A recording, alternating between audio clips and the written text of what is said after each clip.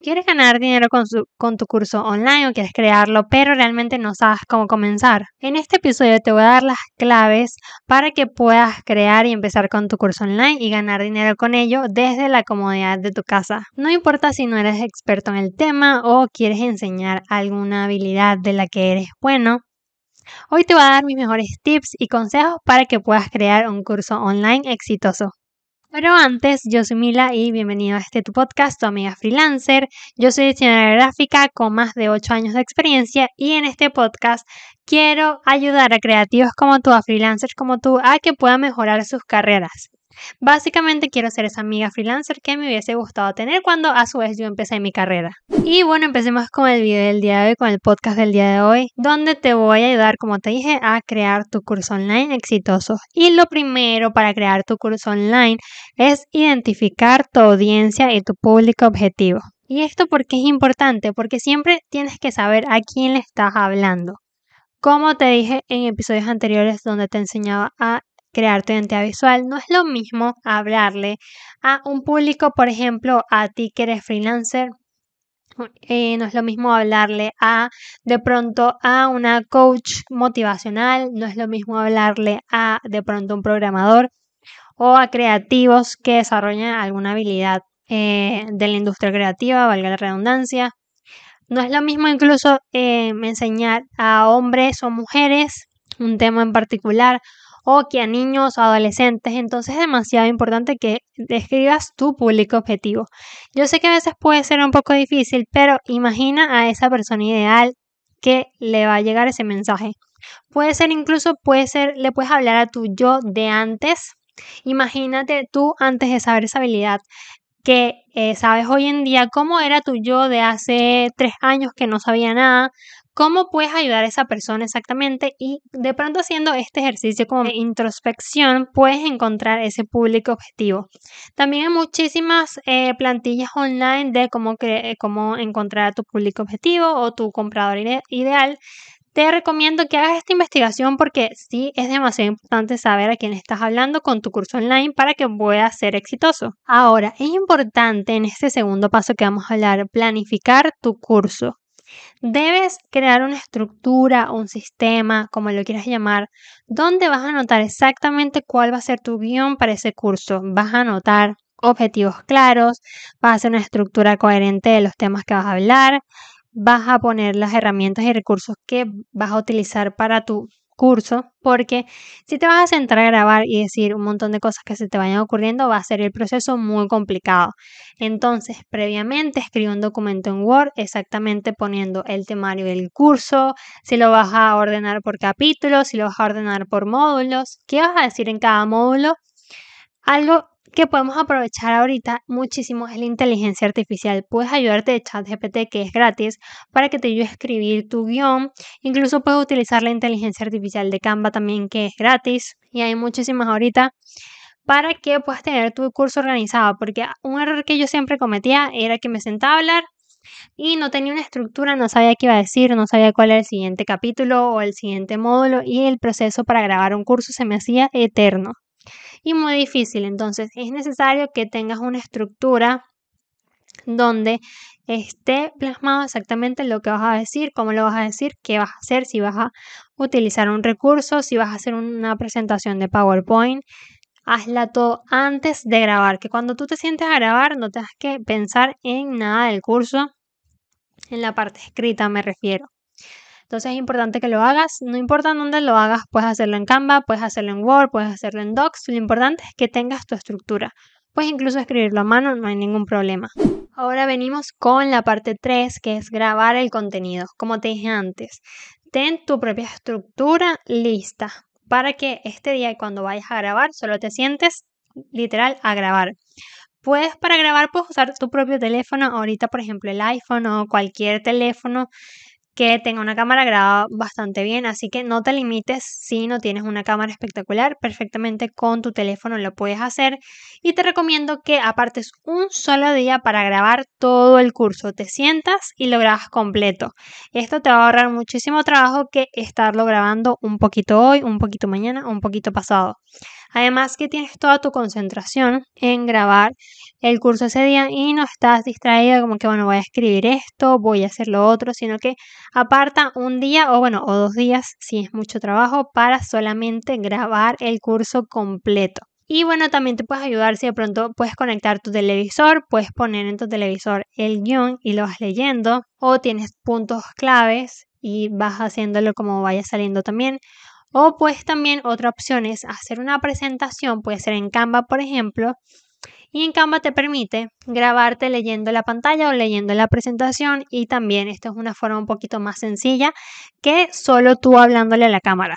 Esa, esa, es otra opción que también puedes utilizar.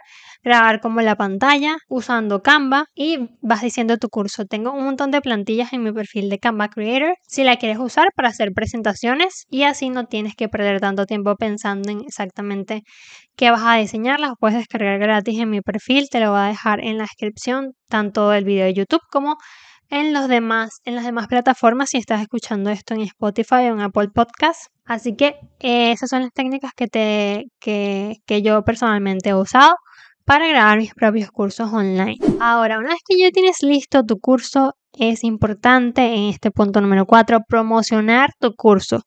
No te quedes solo, o sea, si lo pones por ejemplo en unas páginas que si te quedas al final te voy a decir dónde lo puedes vender no te, no te conformes solo como que con las páginas donde vas a vender tu curso, sino que promocionalo.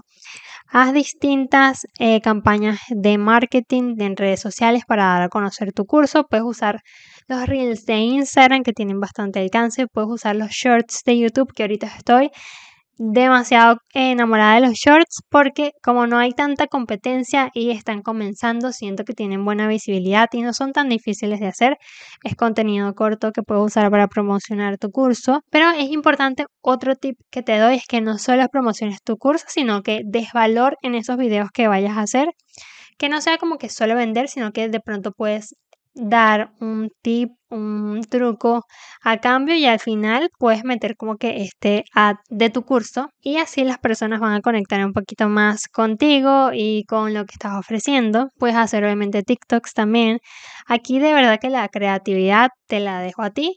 Puedes pagar ads si tienes un poquito más de presupuesto. Aquí puedes hacer lo que tú quieras. Pero como te digo, no te conformes solo con la plataforma donde tengas el curso, sino que es importante que lo promociones. Y el punto número 5 es recopilar retroalimentación de tu curso y mejorar. La única manera de mejorar es escuchando a tus alumnos, escuchando de pronto a tus amigos sobre qué les pareció el curso, qué puedes mejorar en las próximas ediciones.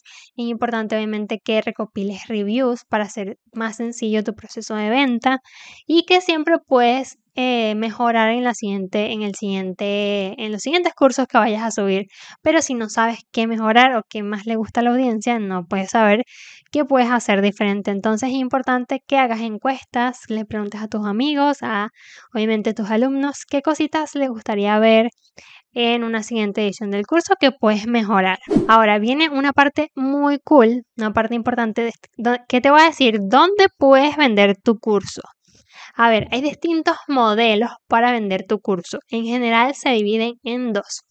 Puedes tener tu propia página web y vender tu curso individualmente sin ningún marketplace o ninguna plataforma que promocione los cursos o puedes subirlo a alguna de estas plataformas donde tienes la oportunidad de que la gente te encuentre y se suscriba y le pague directo como a esa plataforma. Todo va a depender de lo que tú quieras hacer, de pronto el presupuesto que tengas y qué tipo de curso también vayas a vender. Entonces, por ejemplo, está Udemy, que es una plataforma en la que puedes crear y vender tus cursos en línea. Udemy se encarga de la, de la comercialización y facturación y alojamiento del curso y básicamente toma un 50% de cada venta.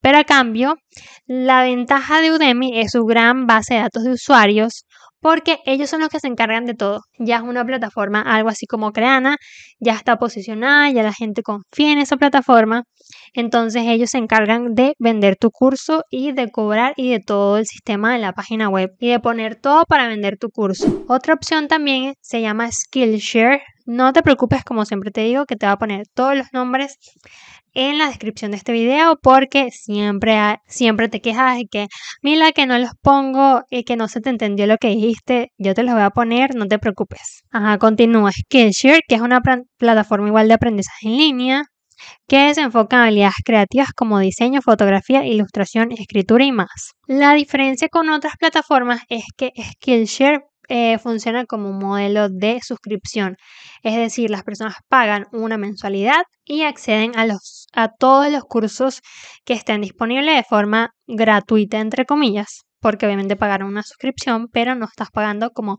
por un curso individual puedes acceder a todos los cursos y les pagan a los instructores dependiendo del tiempo de visualización de cada video. Que en teoría, cuanto más popular sea el curso, más dinero puede ganar un instructor. Aparte, Skillshare ofrece un programa de afiliados, así que si te unes como como instructor y aparte su programa de afiliados, puedes generar más ingresos. Claro, el programa de afiliados es para Promocionar la membresía de Skillshare no es para promocionar directamente tu curso, por ejemplo. Entonces, esta también es una buena opción. Lo único es, que en Skillshare la mayoría de los cursos están en inglés. Hay muy, muy pocos en español y la mayoría de su público es en inglés. Pero quizás sabes inglés y puedes aprovechar esta opción. Udemy si es como más para el público latino y en español. Skillshare es más como para inglés. Ahora te voy a ofrecer tres opciones más donde puedes eh, vender tu curso, pero en estas la diferencia es que es como crear tu propia página web, no es como que pones tu curso en algún marketplace donde ya venden cursos, sino que es completamente individual. Es como crear tu página web. La primera es Teachable. La primera es Teachable. Teachable es una plataforma que te permite crear y vender tus propios cursos en línea Proporciona herramientas para crear páginas web, como landing page, un área de miembros, una herramienta de correo electrónico, etc. Teachable cobra una tarifa por eh, cada transacción del 5% y por el procesamiento de pagos 2.9% más 30 centavos por cada venta. Es decir, que al la persona inscribirse en tu curso a través de Teachable y pagar con los procesadores de pago disponibles en Teachable te restan todas estas comisiones, así que tienes que tener estos costos en cuenta, aparte de lo que te cuesta como tal comprar el dominio eh, de tu página, porque esto sería como construir tu página web, y la suscripción como tal a Teachable para eh, alojar tu curso ahí. Por eso te digo que estas opciones son como crear tu propia página web. Lo cool es que te ofrecen como que todo este ecosistema tipo curso online y tú no tienes que programar, no tienes que hacer nada. Otra opción que te doy es Thinkific, que igual como Teachable te permite crear y vender cursos online. La diferencia es que eh, Thinkific cobra una tarifa del 10% por cada venta.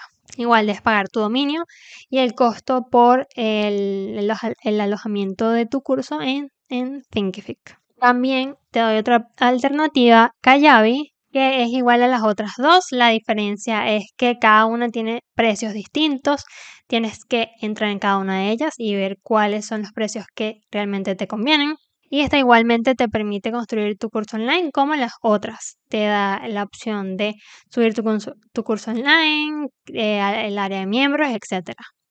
Y por último te dejo Wix, que tengo muchísimos cursos en mi canal de YouTube de cómo puedes crear tu propio curso online, página de suscripción, como lo quieras llamar completamente gratis en mi canal de YouTube, así que puedes ir a verlos. Y bueno, eso es todo por el episodio del día de hoy. Si te gustó este si te gustaron estos temas, te dejo por aquí en la pantalla este episodio del podcast donde te cuento cómo puedes crear una rutina exitosa y ganar dinero como freelancer. Ya que tienes tu curso online, necesitas crear una rutina, así que te recomiendo este episodio que te dejo aquí.